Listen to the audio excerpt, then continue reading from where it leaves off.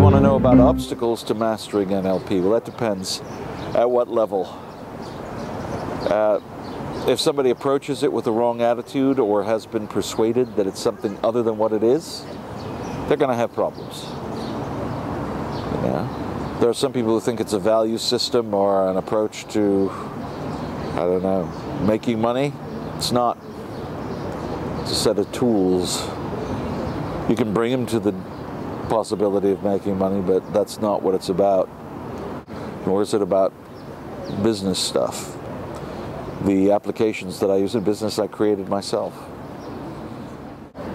The, the biggest obstacles to learning NLP are refusing to take responsibility for what goes on in one's own experience.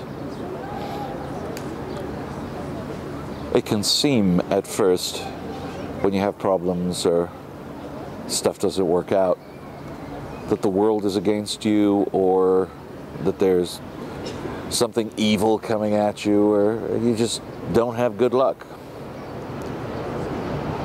But once you start applying the tools to yourself, to your own heart and to your own mind, what you discover is, in more cases than not,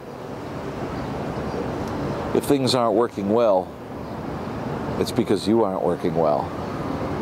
In other words, it's not the world's fault. It's not other people's fault. It's you. And for some people, that's a hard one to get. You know? If somebody's a narcissist, all they want is other people's applause. All they want is to be told how great they are. And so for them, you know, blaming other people is the way to go. But once you start taking responsibility for how you feel and for what's coming up and for the quality of results that show up in your life, it's kind of a magical thing in itself. You start to feel a little bit better about what's going on. You feel a bit more in control. And then when you start applying tools and methods to that, then life definitely can get better. Don't get me wrong, there is such a phenomenon as luck. There is such a phenomenon as being in the right place at the right time. If you work with the NLP tool set, you can be prepared when those opportunities open up. You know, you can be given every opportunity in the world, but if you're not prepared for it, or if you blow it every time you're given an opportunity, well, you can't blame the world, and you certainly can't blame your tools for it. Other things that get in the way.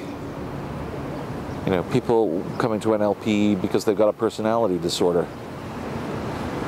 They want to be seen to be an expert in something or to be a guru or whatever.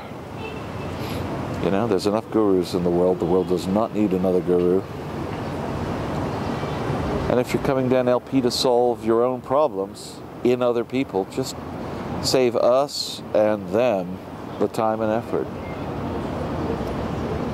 If you want to really slow yourself down, try imposing your problems on other people and then solving them.